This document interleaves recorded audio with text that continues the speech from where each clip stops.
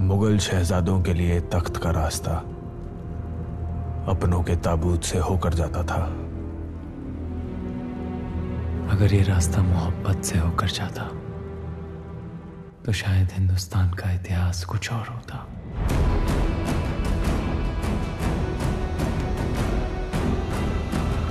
Bollywood periodic period films have often been criticised for endorsing Islamophobia But you are doing Takht, and the, the teaser was out yesterday. I just wanted to ask you that how conscious are you about not indulging it at a time when Islamophobia is at its peak in the country? My dear, you're talking to a filmmaker who's directed a film called My Name is Khan. My sensitivities to religions across the world will always be on point. That's something I believe as a human being, as a citizen of this great country, and generally as a world citizen. Sensitivities to everyone and everything is something we take very deep care of.